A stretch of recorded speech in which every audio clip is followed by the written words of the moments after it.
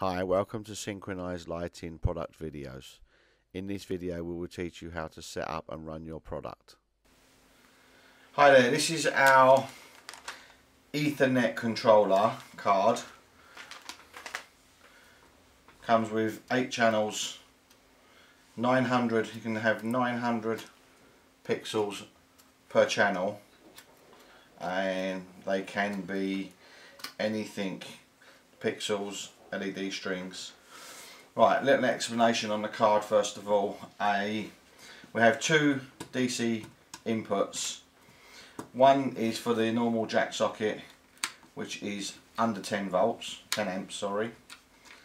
And the other one is for a power brick to hardwire into the unit for over 10 amps. I'll wire that in in a second the Ethernet controller you need a Ethernet controller I think it's a 10 by 100 5 port switch Ethernet switch.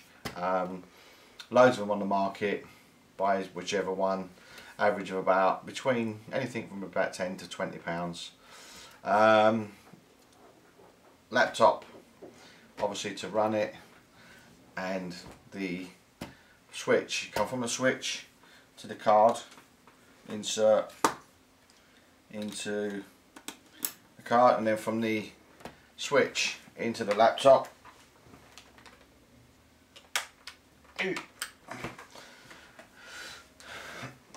Obviously you need power for the laptop.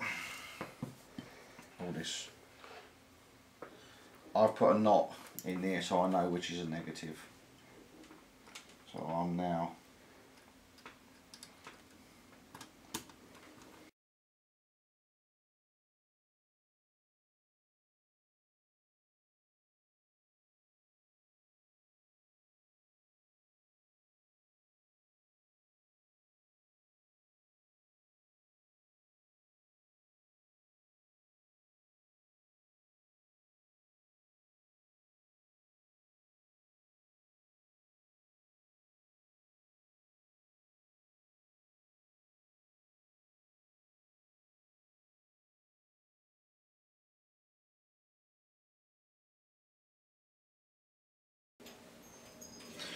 Right, once we've wired it up, the red light goes solid to say that it's in control, the PC is now controlling it, and the green light is flashing just to let it know that it's waiting for commands.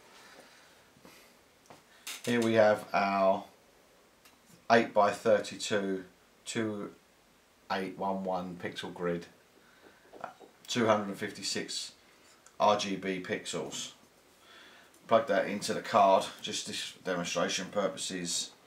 That goes into number five. And here we have a set of 2801 pixels 50 on the string. Reason why I've done two different so I've got 256s here and 50 here. Plug that into the the board into number 8 I've written a very small Pro just to show you there's only 50 on there, 256 on here but the software can handle the fact that they run exactly the same time.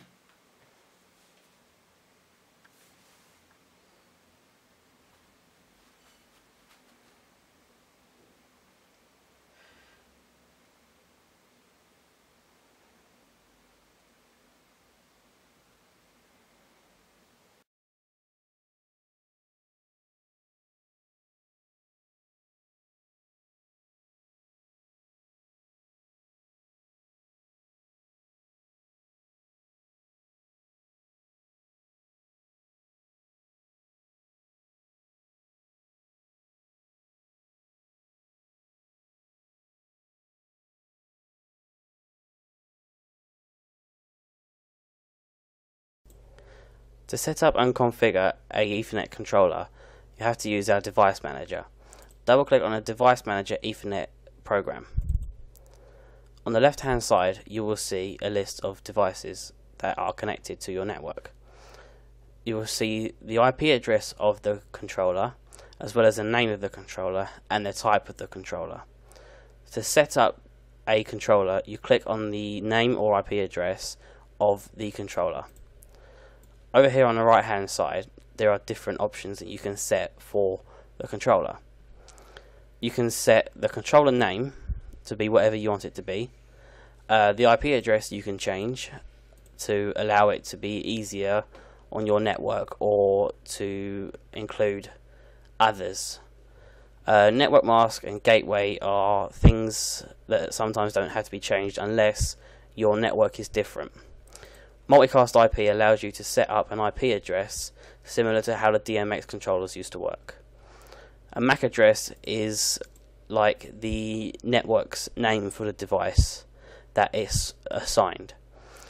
It will also show you the outputs that are on the controller, as well as the maximum pixels and outputs per controller, as well as how many inputs are currently plugged in. Over on this side, you can change the settings for each output. So you can change 1 to 8. You can change the number of channels that are going to be going through the output. Um, you can change the pixels per channel. You can change the type of the pixels. So you can have the 8806, 1803, 2801, 2811 or 2812B. The, the RGB format you can change as some lights have a different way of managing the colors.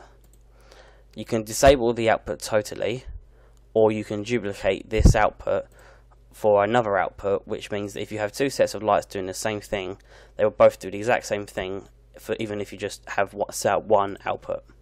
Once you're happy with your settings, you can press save to save all the settings that you've just done.